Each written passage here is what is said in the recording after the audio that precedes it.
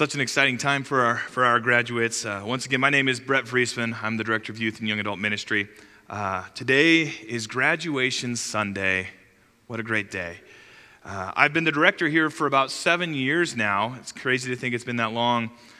And uh, this year's graduating class is very significant to me because it's the first class of students that I've got to see all the way up from sixth grade to senior. So, uh, they have a special place in my heart. Uh, one of the promises or personal goals that I made when I decided to take this job years ago was I wanted to see an entire generation come up.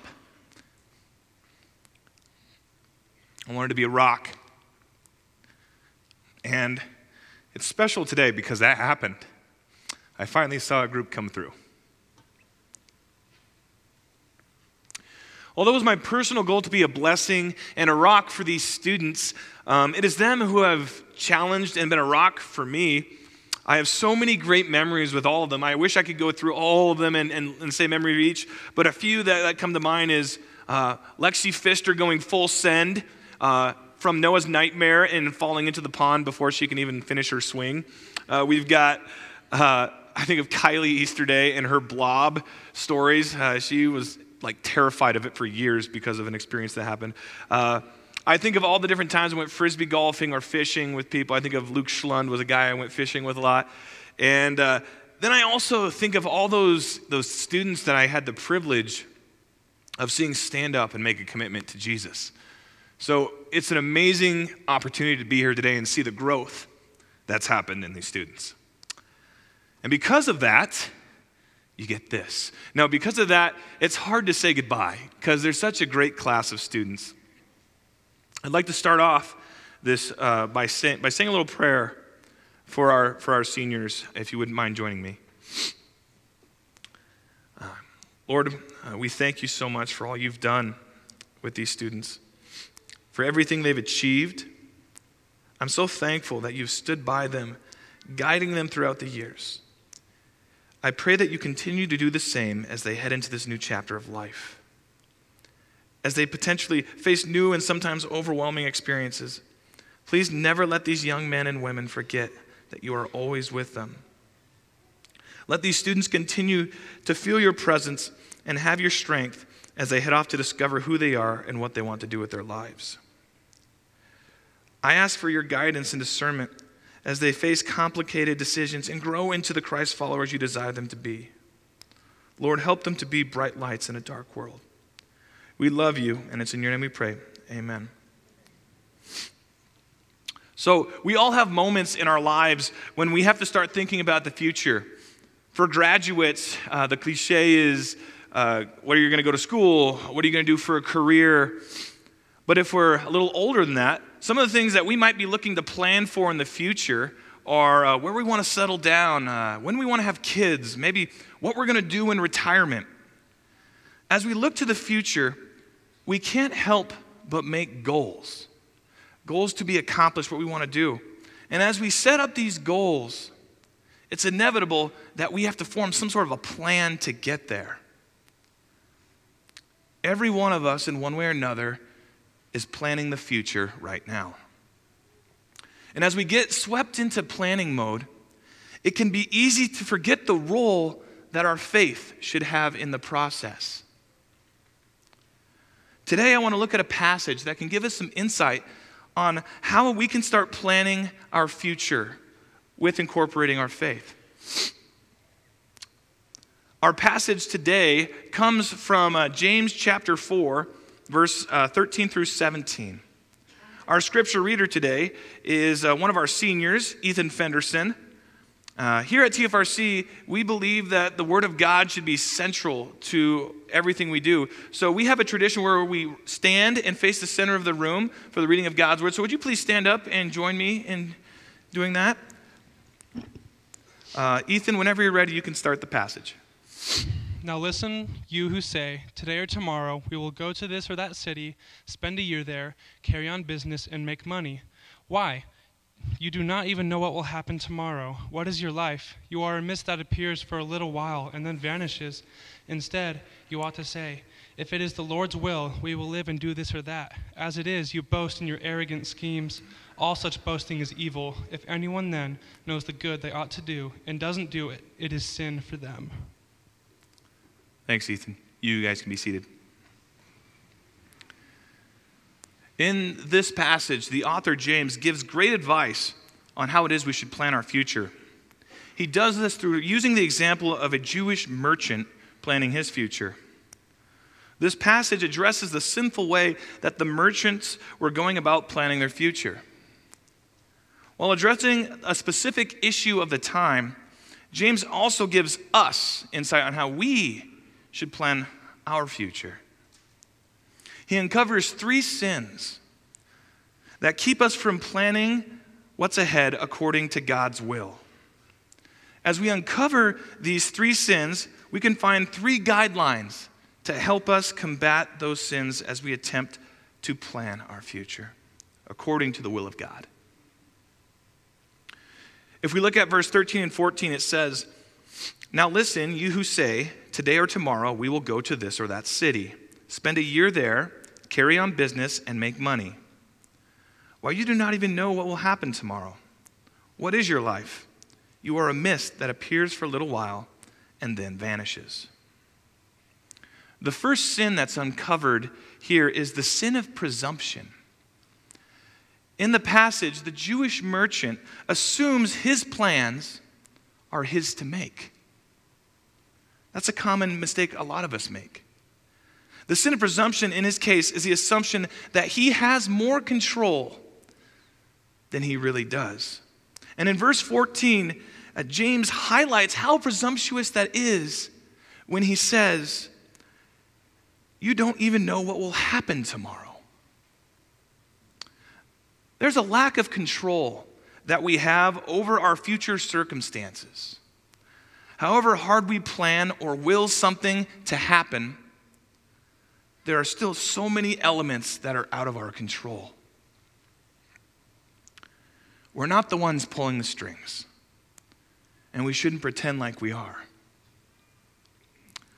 Little insight to me something I've always taken pride in is keeping my belongings in good shape. I, whether it was my action figure collection, which I might still have, or my, my uh, basketball card collection, or collecting DVDs, or any like big ticket item that we purchase, I've always assumed that I could control keeping it nice and looking new. So, one of those big ticket items that, that I took so much pride in was my car. All right, in 2013, I got a brand spanking new I'll get there in a second. Uh, it's kind of like a modern day sports car. I just want to kind of set it up a little bit. Uh, very valuable. It's a 2013 Honda Insight. For those that, that know what that is, it's, it's the Honda uh, reaction to the Prius. So it's, it uh, has a killer motor. Um, and definitely get a lot of uh, double glances when I drive. They're like, how does such a large man fit in such a small car?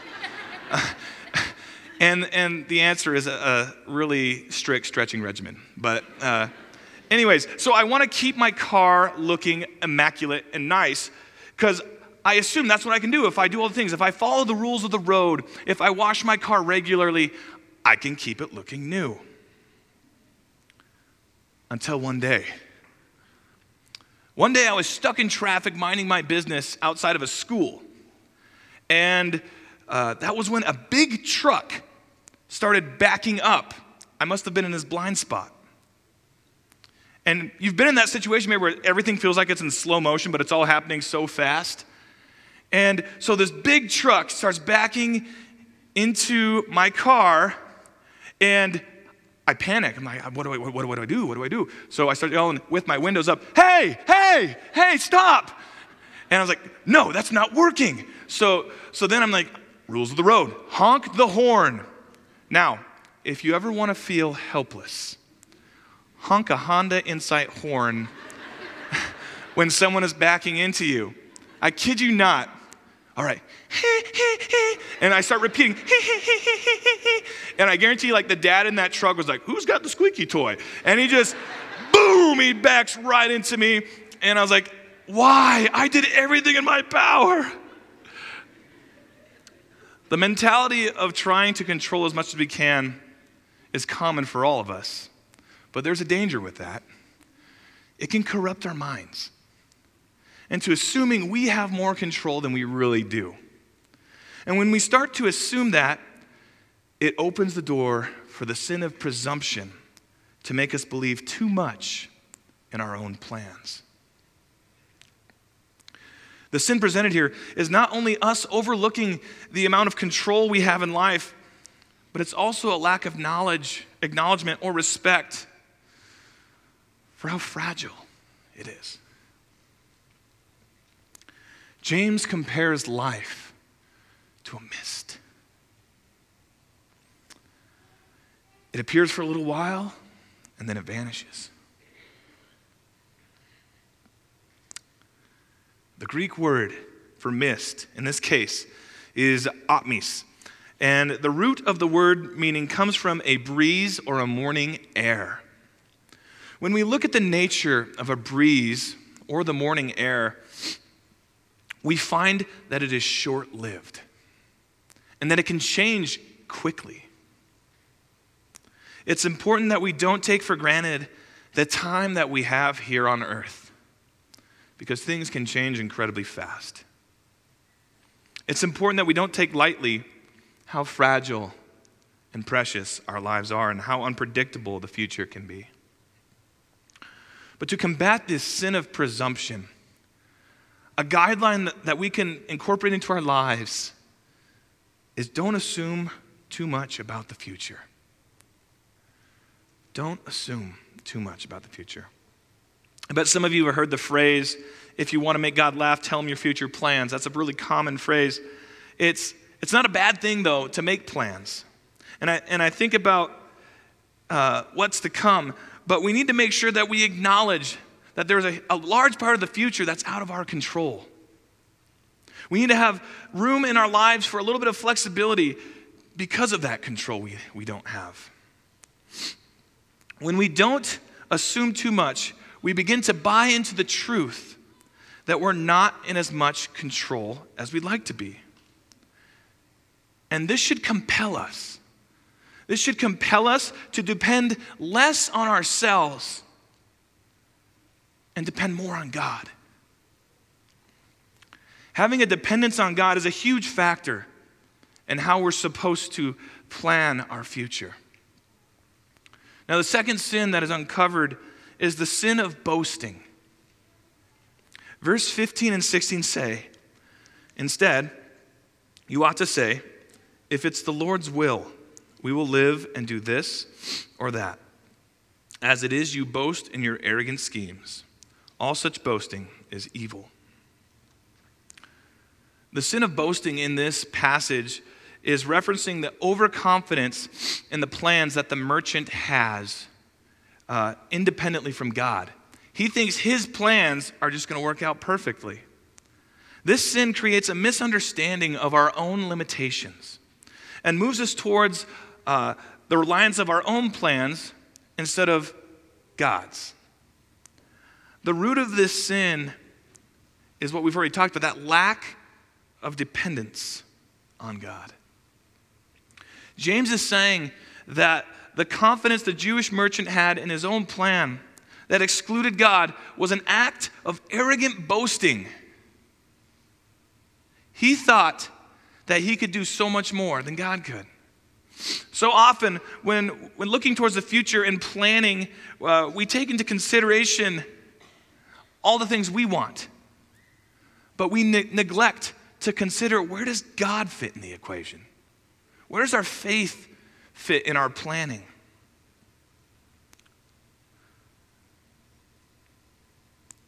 We follow our own leads that make the most sense to us.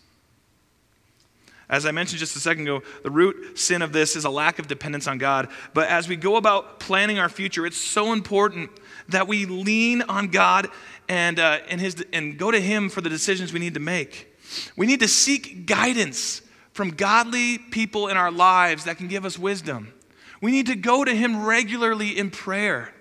We need to keep Him in the equation. It's important that as, we're, that as we do this, we're open to accepting the things that He puts in our lives.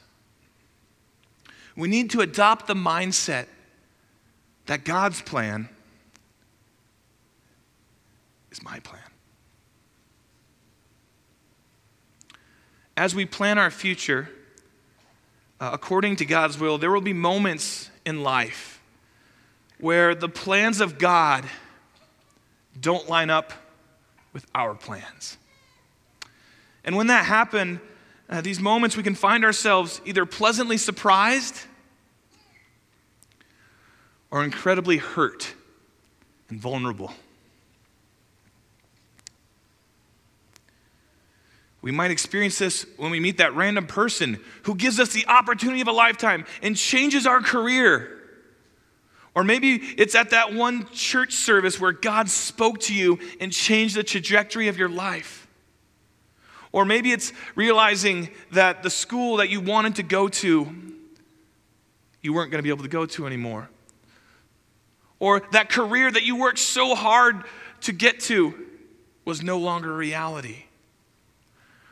Or maybe there's people we love aren't with us anymore, and we planned on them being there.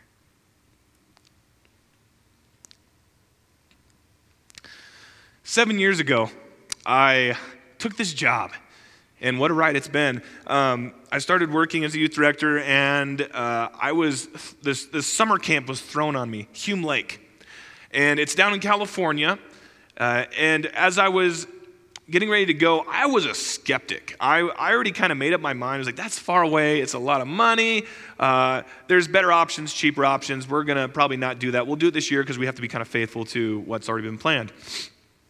So I go there, and uh, as we're there, God softens my heart.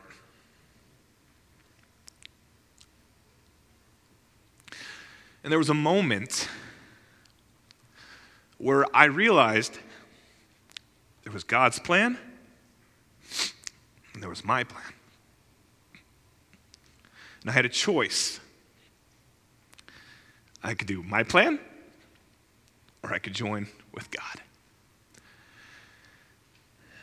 And that week, we took 22 middle school students to camp, and 18 of them stood for Jesus. There's my plan, there's God's plan. And it was life changing. And it was then I realized that I'm going to stick with God's plan. Um, what's so great to see over the years is uh, we started out with 35 combined middle school, high school students going to Hume. And God's plan, we have 90 going now. Seven years later. Yeah. And it's not only that, there's dozens of students that have made a commitment to Jesus through that trip alone. God's plan is amazing. And we have the opportunity sometimes to merge our plans. God has a plan for everyone. And there are times that they don't line up with ours, but that doesn't mean we can't plan. There's a key phrase in this passage.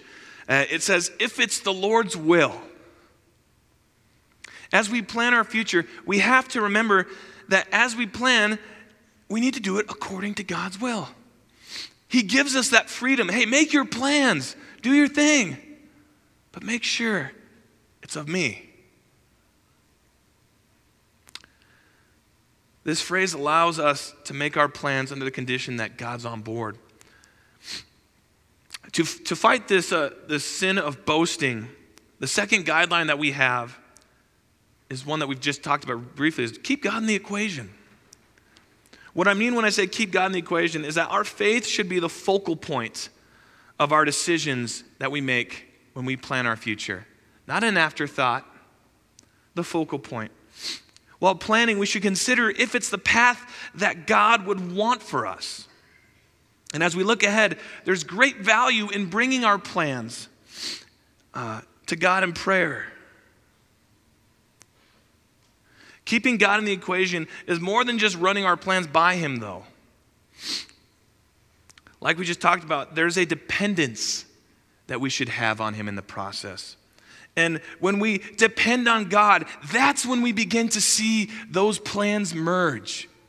We start to see God leading us in interesting, weird ways that line up with His purpose. As we keep God in the equation while making our plans, we should begin to see our hearts align with His. The third sin, though, that keeps us from you know, planning according to God's will is the sin of omission. In verse 17, it says, If anyone then knows the good they ought to do and doesn't do it, it is sin for them. James says, If you know what to do, but you don't do it, it's a sin. The meaning of sin is to miss the mark. But many times we, we view that as doing what's wrong. But that's only half the equation. It's also failing to do what's right. When we know what ought to be done and choose not to do it, we are disobedient to God. A few years ago, I went with a group of friends to Boise for a movie premiere. I believe it was a Star Wars movie. And while we were waiting in the lobby, uh, I had one of my not so fine moments. Uh, somebody spilled a Slurpee on the ground, a blue Slurpee, and uh, nobody cleaned it up. And uh, we, we had plenty of time to address the issue, but we didn't. But then this woman walks into the lobby, on the tile lobby, and she's wearing this long, flowy white dress. And she starts walking towards the puddle, and I knew what I should do. Like, I should go probably tell her something or, or have someone clean it up. But I kind of just stood there and, and, and waited. And she walks onto the puddle of Slurpee, and what do I do? I lean over to Pastor John, who was there with me. I say, Watch this. Yes, so bad. Uh, I, to this day, I still feel terrible about it. All right. So I expected kind of a, you know, one of those kind of uh, recovery situations. No, it was a full-on slip. Like she stepped and like like went down, and there was blue Slurpee all over her dress. It was so terrible. And I think John leaned over to me and he was like, "You're a terrible person," and I, and I had to agree. But there are times in our future where we plan things and uh, we have a pretty good idea of what we should do. Yet for some reason, we choose to ignore it. We may ignore it because something else seems more appealing at the time, like seeing a person slip. Uh, or maybe uh, God has something that's a little too difficult for you to feel like you can conquer.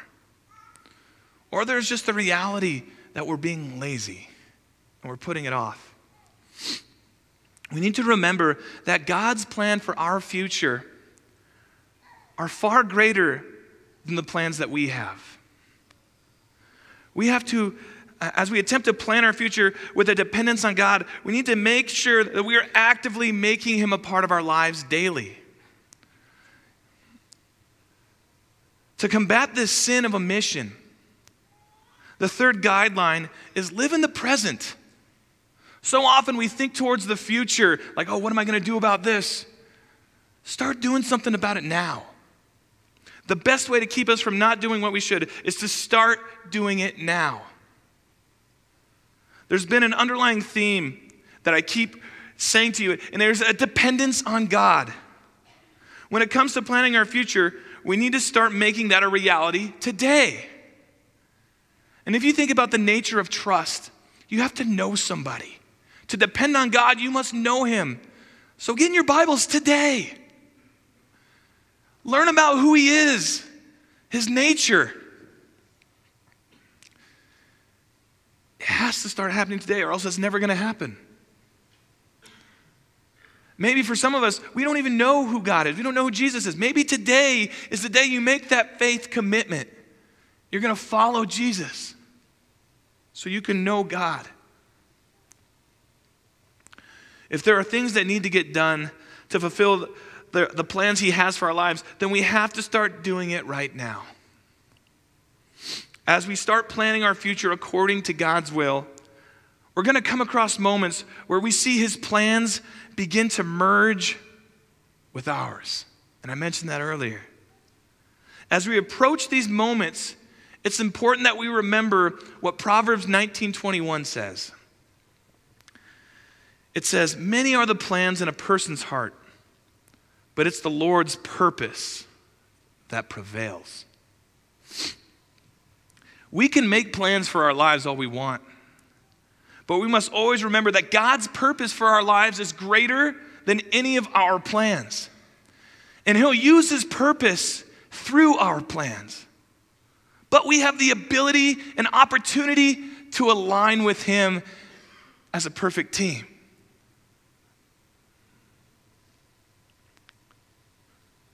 It's important we recognize these moments because this is when the big things happen. This is when the life change happen. This is when those wild stories like Hume Lake or, or anything that's, that's crazy that's ever happened in your life happen. I just want to wrap up by uh, presenting a couple questions for you to think about uh, as you leave.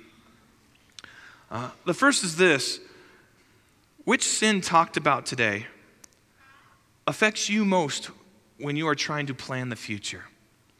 We talked about omission, we talked about boasting, and we talked about presumption. Which one of those is a hang up for you as you plan the future? The other is, what could God be asking you to change about the way you plan the future? Maybe it's just letting God into the situation. Maybe it's going to Him in prayer more. In what way can you change the way you plan the future? My graduates, oh man.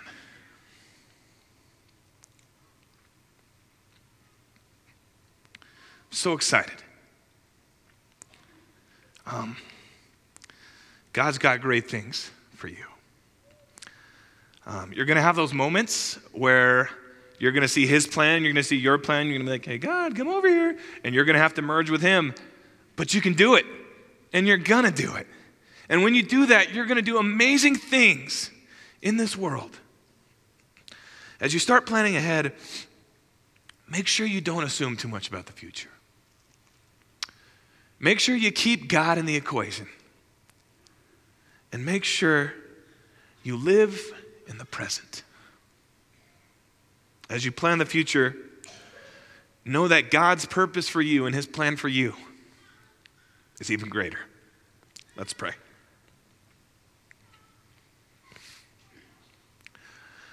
God, we're so thankful for this time of life where graduates can uh, move on and grow up and go to a new uh, life stage. And uh, it's a little sad because we're going to miss them, but we just ask that you're with them and you give them guidance as they go into this new chapter of life. And Lord, we think of all of the rest in the room. There are things that we are looking towards and planning. God, I ask that you help us let you be a part of the equation. Help us live in the present and be flexible as to uh, where you want us to go and what you want us to do. We love you and we ask that you'll be with us this week. In your name we pray. Amen. May the Lord bless you and keep you. The Lord make his face shine on you and be gracious to you. The Lord turn his face towards you and give you peace. Amen. Have a great week.